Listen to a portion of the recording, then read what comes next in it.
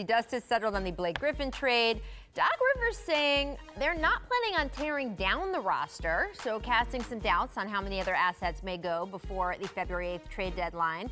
He said, We're not trading everybody away. Ha. That Ha. means they could still be trading Ha. Lou Williams and DeAndre Ha, with them. ha, What do you think, Zach? Yeah, I'm not. Of course, they're not going to trade everybody away. they're going to. They need to field a team. Right. But of course, they're taking calls on all these guys. The Blake trade actually gave them.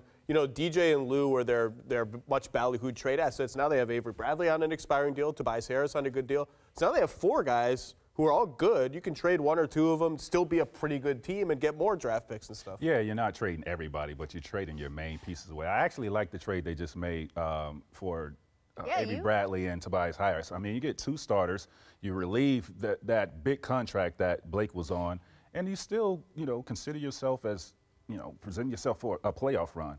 Um, but if there's a sexy trade for DeAndre Jordan and Lou Williams, who I've been hearing about, of course you're going to make that trade to improve your team. Now, I, I uh, do have a question. I have heard, especially like since the dust is now settled on the Blake trade and everyone's had 48 hours to kind of have it seep in, people saying, oh, well, you know, the important thing was getting off that Blake money. They had to get off that Blake money, whatever. But the way people are talking about it, they gave him the money like six months ago. That's this is I- not like some previous regime from three years ago. Yeah, but- It's just weird to me the way they're like, oh, that albatross. Well, you knew what it was going to be when you signed it to him six months ago. And they probably were confident they could trade it. And it happened. Get some assets. But that is, if that's actually what they were doing, that makes it a little more sneaky.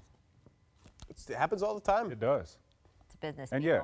I'll be if I'm the players in the locker room. Right. Have your bags packed, because typically when they say that, Right? somebody is getting shopped away. Right?